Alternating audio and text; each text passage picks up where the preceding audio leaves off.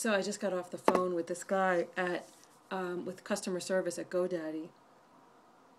And, and they always give amazing customer service. I know there's probably lots of things that they're doing that I really wouldn't want to know, corporate wise, whatever. I got past the whole elephant thing. Apparently, that guy's no longer the CEO or owner or I don't know, whatever. Anyway, so I'm uh, having this great, I always have these great conversations with these customer service people at GoDaddy.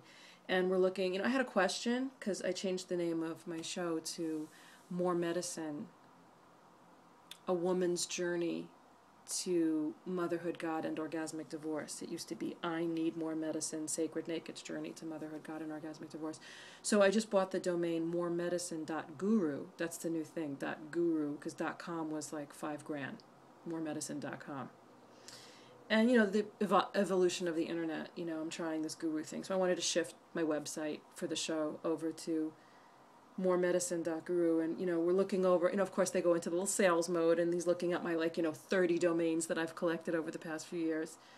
And he was you know he's telling me you know my different options. I could pay 4.99 a year and have the option to sell some of the ones that I'm letting expire. And you know he he he he's like divorces oxygen. What's that? It's a domain I bought like you know a year ago. And uh, he's like what's that and I said, um, it's a true statement. That's what that is. so we start laughing and he starts going into like, you know, like, I'm the relationship goddess, right? So he starts telling me all about his relationship. I'm in a customer service technical support phone call, and this guy's telling me how, you know, he and his girlfriend, uh, you know, long exclusive relationship, and they're already raising a child together, their child, and they're going to get married. And he's like, "So what are you telling me? I shouldn't get married?"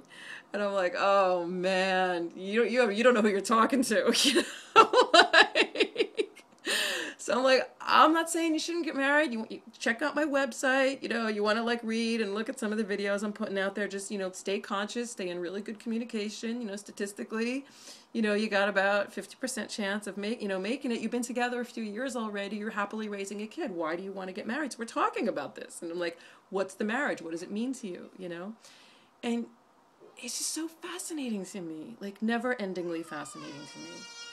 You know, well, her her parents are more, you know, religious, and they like that, you know, the, the, the, structure of that and the tradition of that. And I'm like, yeah, yeah.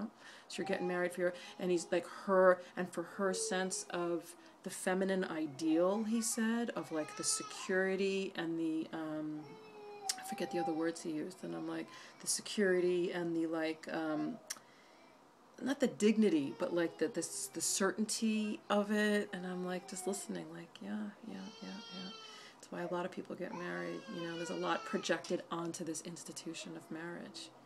You know, so you know we didn't get that farther into it, but who knows? They may make it, they may not. They're already happy, already in a relationship, already raising a child. Now they're going to get married.